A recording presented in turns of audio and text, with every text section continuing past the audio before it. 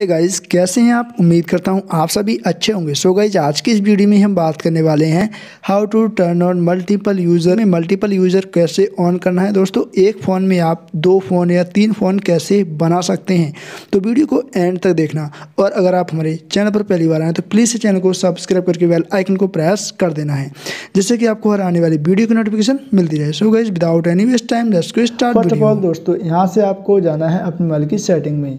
और सेटिंग में जाने के बाद यहाँ से आपको सबसे नीचे जाना है और यहाँ पर आपको सिस्टम वाले ऑप्शन पर क्लिक कर देना है।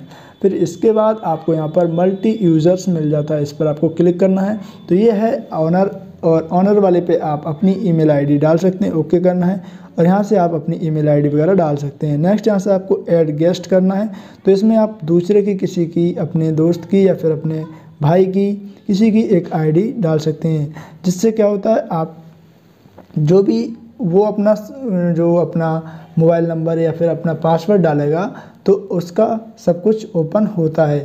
बाकी यहाँ से आप ऐड कर सकते हैं और भी, और बाकी यूज़र नेम ऐड कर सकते हैं, जैसे जो जो भी करना चाहें आप। और यहाँ से आप जो भी अपना अपना स्क्रीन लॉक लगाएँगे तो यहाँ से आप उसका स्क्रीन लॉक यूज़ करेंगे।